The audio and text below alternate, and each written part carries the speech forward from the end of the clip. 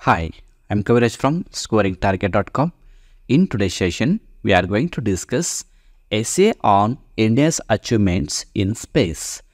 ಆತ್ಮೀಯ ವಿದ್ಯಾರ್ಥಿಗಳ ಇವತ್ತಿನ ತರಗತಿಯಲ್ಲಿ ನಾವು ಬಾಹ್ಯಾಕಾಶದಲ್ಲಿ ಭಾರತದ ಸಾಧನೆ ಕುರಿತು ಒಂದು ಪ್ರಬಂಧವನ್ನು ಡಿಸ್ಕಸ್ ಮಾಡ್ತಾಯಿದ್ವಿ ಈ ಎಸೆಯನ್ನು ನಾವು ಮೂರು ಲ್ಯಾಂಗ್ವೇಜಲ್ಲಿ ಡಿಸ್ಕಸ್ ಮಾಡ್ತಾಯಿದ್ವಿ ಸೊ ಪ್ರಾರಂಭದಲ್ಲಿ ಇಂಗ್ಲೀಷ್ ಲ್ಯಾಂಗ್ವೇಜಲ್ಲಿ ಈ ಒಂದು ಎಸೆಯನ್ನು ಕಲ್ತ್ಕೊಳ್ಳೋಣ ಇದಾದ ನಂತರ ಕನ್ನಡ ಕೊನೆಗೆ ಹಿಂದಿ. ಸೊ ಮೂರು ಭಾಷೆಯಲ್ಲಿ ಈ ಒಂದು ಎಸ್ಸೆಯನ್ನು ಕೊಟ್ಟಿದ್ದೀನಿ. ಸೊ ಈ ಒಂದು ಎಸ್ಸೆಯನ್ನು ನೀವು ಡೌನ್ಲೋಡ್ ಮಾಡ್ಕೋಬೇಕಂದ್ರೆ ಅದರ ಲಿಂಕ್ ಕಾಮೆಂಟ್ ಬಾಕ್ಸಲ್ಲಿರುತ್ತೆ ಕ್ಲಿಕ್ ಮಾಡಿ ಡೌನ್ಲೋಡ್ ಮಾಡ್ಕೊಳ್ಳಿ. ಈಗಾಗಲೇ ಇಲ್ಲಿವರೆಗೆ ನಾನು ಎಸ್ ಎಸ್ ಎಲ್ ಸಿ ಹಾಗೂ ಎಲ್ಲ ಒಂದು ಹೈಸ್ಕೂಲ್ ತರಗತಿ ವಿದ್ಯಾರ್ಥಿಗಳಿಗೆ ಕಾಲೇಜ್ ವಿದ್ಯಾರ್ಥಿಗಳಿಗೆ ಹಾಗೂ ಎಲ್ಲ ಕಾಂಪಿಟೇಟಿವ್ ಎಕ್ಸಾಮ್ಗಳಿಗೆ ಹೆಲ್ಪ್ ಆಗ್ತಕ್ಕಂಥ ನಲವತ್ತು ನಾಲ್ಕು ಎಸ್ಸೆಗಳನ್ನು ಈಗಾಗಲೇ ನಾನು ಸಾಲ್ವ್ ಮಾಡಿದ್ವಿ ಅವುಗಳ ಲಿಂಕ್ ಕೂಡ ಕಾಮೆಂಟ್ ಬಾಕ್ಸಲ್ಲಿರುತ್ತೆ ಓಕೆ ಈಗ ಮೊದಲನೇದಾಗಿ a on India's achievements in space in English so ಬಾಹ್ಯಾಕಾಶದಲ್ಲಿ ಭಾರತ ಸಾಧನೆ ಕುರಿತು ಒಂದು ಎಸ್ಸೆಯನ್ನು ಇಂಗ್ಲೀಷ್ನಲ್ಲಿ ಕಲಿಯೋಣ. ಸೊ ಪ್ರಾರಂಭದಲ್ಲಿ ನಾವು ಈ ಟೈಟಲನ್ನು ಬರೀಬೇಕು. ಇಂಡಿಯಾಸ್ ಅಚೀವ್ಮೆಂಟ್ಸ್ ಇನ್ ಸ್ಪೇಸ್ ಅಂತ ಬರೀಬೇಕು. ಬರೆದ ನಂತರ ಇಂಟ್ರಡಕ್ಷನ್. ಸೊ ಪೀಠಿಕೆಯನ್ನು ಬರೀಬೇಕು.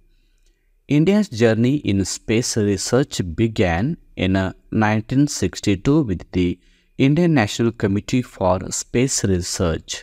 So ಭಾರತದ ಒಂದು ಪ್ರಥಮ ಹೆಜ್ಜೆ. ಬಾಹ್ಯಾಕಾಶದ ಕಡೆಗೆ ಪ್ರಥಮ ಹೆಜ್ಜೆ ನಮ್ಮ ಭಾರತ ಪ್ರಾರಂಭಗೊಂಡಿದ್ದು ಹತ್ತೊಂಬತ್ತು ನೂರ ಅರವತ್ತೆರಡರಂದು. ಅದು ನಮ್ಮ Indian National Committee for Space Research ಅಂತಕ್ಕಂಥ ಒಂದು ಸಂಸ್ಥೆಯಿಂದ ಪ್ರಾರಂಭ ಆಗುತ್ತೆ doctor Vikram Sarabhai led India's space programme primarily. So, ಪ್ರಾರಂಭದಲ್ಲಿ ಈ ಒಂದು ಬಾಹ್ಯಾಕಾಶ ಸಂಶೋಧನೆ ಒಂದು ಕಾರ್ಯಕ್ರಮಗಳನ್ನು, ಪ್ರೋಗ್ರಾಮನ್ನು ಕೈಗೊಂಡರು doctor Vikram Sarabhai. He is not known now known as the father of the Indian space programme so ಈಗ ಅವರನ್ನು ನಾವು ಭಾರತ ಬಾಹ್ಯಾಕಾಶ ಸಂಶೋಧನೆಯ ಪಿತಾಮಹ ಅಂತ ಕರಿತೀವಿ. ಇದು ಹಿ ಈಸ್ ನೋನ್ ಆ್ಯಸ್ ಇದು ನಾಟ್ ಅನ್ನೋದು ರಿಮೂವ್ ಮಾಡಿಬಿಡಿ. ಎಷ್ಟು ಪೀಠಿಕೆ? ಸೊ ಪೀಠಿಕೆ ಆದ ನಂತರ ಈಗ ನಾವು ಡೀಟೇಲ್ ಆದ ಒಂದು ಎಸ್ ಸಿಯನ್ನು ಬಾಡಿಯಲ್ಲಿ ಬರೀಬೇಕು. ಮೊದಲನೇ point India India launched Aryabhata in nineteen seventy five marked the beginning of India's independent space journey so ಸ್ವತಂತ್ರವಾಗಿ ಭಾರತ ಒಂದು ಬಾಹ್ಯಾಕಾಶ ಸಂಶೋಧನೆಯ ಒಂದು ವರ್ಕು ಪ್ರಾರಂಭ ಆಗಿದ್ದು, ಯಾವಾಗಂದರೆ ಹತ್ತೊಂಬತ್ತು ನೂರ ಎಪ್ಪತ್ತೈದರಲ್ಲಿ ಭಾರತ ಪ್ರಪ್ರಥಮ ಒಂದು ಆರ್ಯಭಟ್ಟ ಉಪಗ್ರಹವನ್ನು ಉಡಾವಣೆ ಮಾಡಲಾಯಿತು. ಆವಾಗಿನಿಂದ ಈ ಒಂದು ಪ್ರಥಮ ಹೆಜ್ಜೆ ಸ್ವತಂತ್ರವಾಗಿ ನಮ್ಮ ಬಾಹ್ಯಾಕಾಶದಲ್ಲಿ ಸಂಶೋಧನೆಗಳಿಗೆ ಕೈಗೊಂಡಕ್ಕಂಥ ಒಂದು ಪ್ರೋಗ್ರಾಮ್ ಸ್ಟಾರ್ಟ್ ಆಯಿತು ಅಂತ ಹೇಳ್ಬೋದು. ಆಮೇಲೆ ಎರಡನೇ ಪಾಯಿಂಟ್, ಎರಡನೇ ಒಂದು ಸಾಧನೆ, the launch of Chandrayaan first in two thousand eight which discovered on the moon ಇನ್ನು ಮೊದಲನೇದಾಗಿ ಎರಡು ಸಾವಿರದ ಎಂಟರಲ್ಲಿ ಚಂದ್ರಯಾನ ಒಂದು. ಈ ಪ್ರೋಗ್ರಾಮನ್ನು ಹಮ್ಮಿಕೊಳ್ಳಲಾಯಿತು. ಈ ಮೂಲಕ ಮಂಗಳ ಗ್ರಹದಲ್ಲಿ ನೀರಿನ ಮೂಲಗಳ ಒಂದು ಕಂಡುಹಿಡಿಯುವ ಪ್ರಯತ್ನ ಮಾಡಲಾಯಿತು. ಆಮೇಲೆ ಮೂರನೇದು the Mars orbiter mission M O M ಅಂತ ಕೂಡ ನಾವು ಕರಿತೀವಿ. In two thousand thirteen which made India the first Asian country to reach Martian orbit ಅಂದರೆ ಆಮೇಲೆ ಒಂದು ಎರಡು ಸಾವಿರದ ಹದಿಮೂರರಲ್ಲಿ ಮಾರ್ಸ್ ಆರ್ಬಿಟ್ ಮಿಷನ್ ಅಂತಕ್ಕಂಥ ಒಂದು ಯೋಜನೆಯನ್ನು ಕೈಗೊಳ್ಳೋ ಮೂಲಕ ಏಷ್ಯಾ ಖಂಡದ ಪ್ರಥಮ ರಾಷ್ಟ್ರ ಅಂತ ಒಂದು ಹೆಸರು ಕೂಡ ಇಂಡಿಯಾ ಪಡ್ಕೊತು ಇನ್ನು ನಾಲ್ಕನೆಯ ಸಾಧನೆ in ISRO launched Chandrayaan two in two thousand nineteen, its mission was to land on the dark side of the moon. ಮಂಗಳ ಗ್ರಹದ ಕತ್ತಲೆಯ ಭಾಗದಲ್ಲಿ ಇಳಿಯುವ ಮೂಲಕ ಮಂಗಳ ಗ್ರಹವನ್ನು ಅಧ್ಯಯನ ಮಾಡೋ ಸಲುವಾಗಿ ಇಂಡಿಯನ್ ಸ್ಪೇಸ್ ಆ್ಯಂಡ್ ರಿಸರ್ಚ್ ಆರ್ಗನೈಜೇಷನನ್ನು ಶಾರ್ಟಲ್ಲಿ ನಾವು ಇಸ್ರೋ ಅಂತ ಕರಿತೀವಿ. ಅವ್ರು ಏನು ಮಾಡಿದ್ರು ಅಂದರೆ ಎರಡು ಸಾವಿರದ ಹತ್ತೊಂಬತ್ತರಲ್ಲಿ ಚಂದ್ರಯಾನ ಸೆಕೆಂಡನ್ನು ಪ್ರಾರಂಭ ಮಾಡ್ತಾರೆ.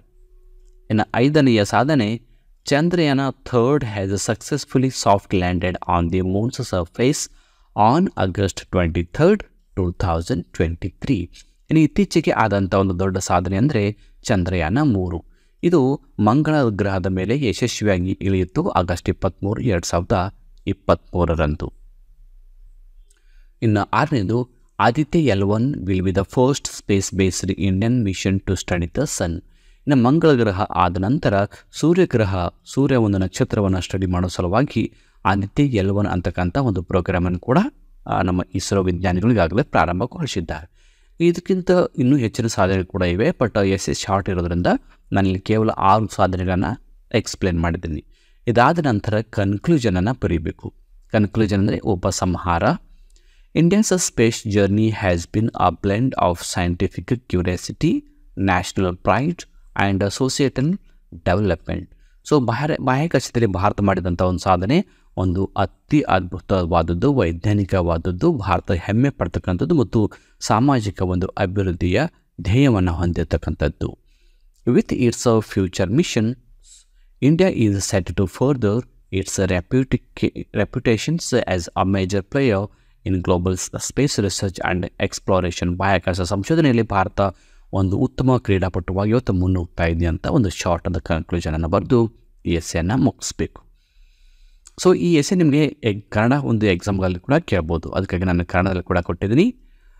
ಪಿ ಟಿ ಕೆ ಈಗಾಗಲೇ ನಾನು ಎಕ್ಸ್ ಕನ್ನಡದಲ್ಲಿ ಎಕ್ಸ್ಪ್ಲೈನ್ ಮಾಡಿರೋದ್ರಿಂದ ನೇರವಾಗಿ ಇಲ್ಲಿ ಜಸ್ಟ್ ನಾನು ಓದ್ತಾ ಹೋಗ್ತೀನಿ. ಬಾಹ್ಯಾಕಾಶ ಸಂಶೋಧನೆಯಲ್ಲಿ ಭಾರತ ಪ್ರ ಪ್ರಯಾಣವು ಹತ್ತೊಂಬತ್ತು ನೂರ ಅರವತ್ತೆರಡರಲ್ಲಿ ಬಾಹ್ಯಾಕಾಶ ಸಂಶೋಧನೆಗಾಗಿ ಭಾರತೀಯ ರಾಷ್ಟ್ರೀಯ ಸಮಿತಿಯೊಂದಿಗೆ ಪ್ರಾರಂಭವಾಯಿತು. ಡಾಕ್ಟರ್ ವಿಕ್ರಮ್ ಸಾರಾಭಾಯಿ ಅವರು ಭಾರತದ ಬಾಹ್ಯಾಕಾಶ ಕಾರ್ಯಕ್ರಮವನ್ನು ಪ್ರಾಥಮಿಕವಾಗಿ ಮುನ್ನಡೆಸಿದರು. ಅವರನ್ನು ಭಾರತೀಯ ಬಾಹ್ಯಾಕಾಶ ಕಾರ್ಯಕ್ರಮದ ಪಿತಾಮಹ ಎಂದು ಕರೆಯಲಾಗಿದೆ. ಭಾರತವು ಹತ್ತೊಂಬತ್ತು ನೂರ ಎಪ್ಪತ್ತೈದರಲ್ಲಿ ಆರ್ಯಭಟ ಉಪಗ್ರಹವನ್ನು ಉಡಾವಣೆ ಮಾಡುವ ಮೂಲಕ ಭಾರತ ಸ್ವಾತಂತ್ರ್ಯ ಬಾಹ್ಯಾಕಾಶ ಪ್ರಯಾಣವನ್ನು ಆರಂಭಿಸಿತ್ತು.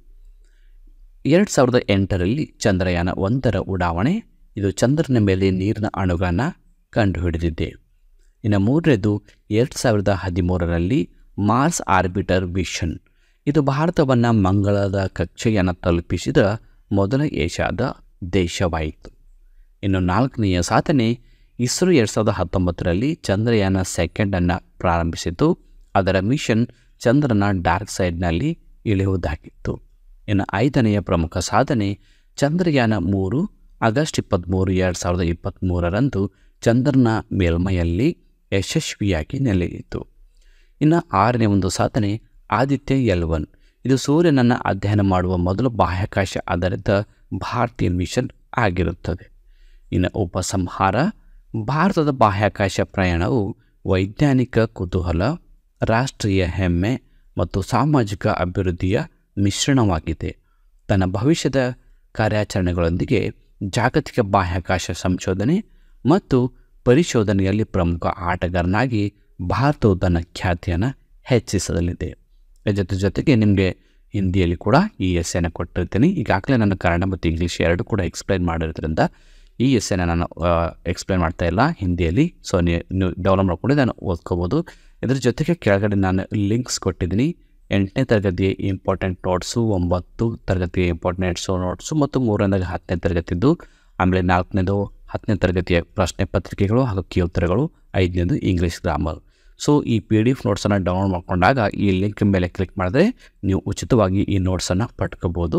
ಜೊತೆಗೆ ಈ ವಿಡಿಯೋನ ನಿಮ್ಮ ಎಲ್ಲ S S L C friends ಹಾಗೂ ಹೈಸ್ಕೂಲ್ ತರಗತಿಯ ವಿದ್ಯಾರ್ಥಿ ಗ್ರೂಪಲ್ಲಿ ಶೇರ್ ಮಾಡ್ಕೊಳ್ಳಿ ಅಂತ ಹೇಳ್ತಾ ಇವತ್ತಿನ ಕ್ಲಾಸನ್ನು ಇಲ್ಲಿಗೆ ಮುಗಿಸ್ತಾ ಇದ್ದೀನಿ.